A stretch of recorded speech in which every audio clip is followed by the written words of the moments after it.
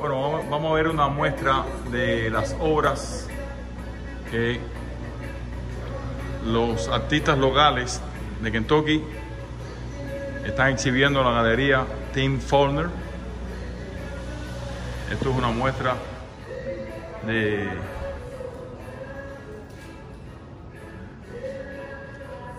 todas las fotografías, todas las pinturas. Y bueno, exhortamos a toda la comunidad a que vengan a verlas y de esa manera apoyen el arte local. Hay muchas obras, muchas personas que pusieron su granito para exponer y bueno, eh, a lo mejor se venden, pero